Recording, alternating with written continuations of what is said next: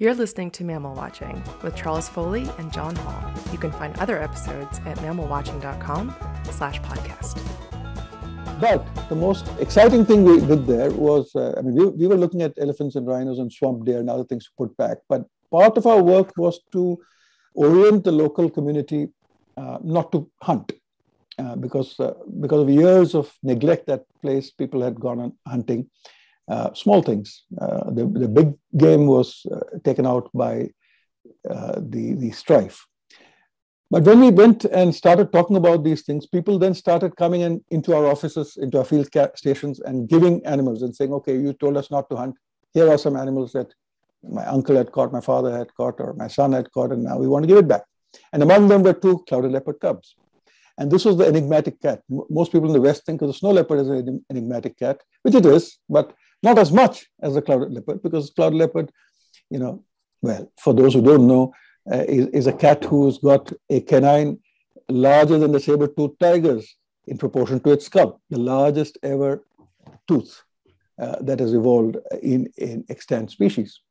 Um, it's, it's an animal that, that lives on the trees and preys on monkeys. It's an animal that can come headfirst down a tree and uh, you know uh, retain agility and mobility. So it's a fascinating creature, and it's less seen than the snow leopard is. In Juneau, a friend of mine uh, took me out one one morning kayaking, and I don't swim.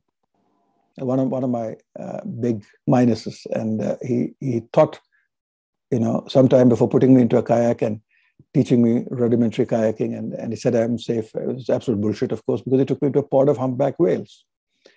Uh, and they were breaching all around me. Luckily, calves were breaching. I don't know what would have happened to me if, if a mother had breached.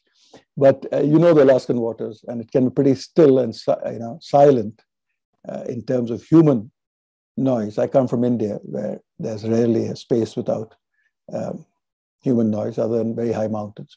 So here is completely still air, and then you can hear the of the whales.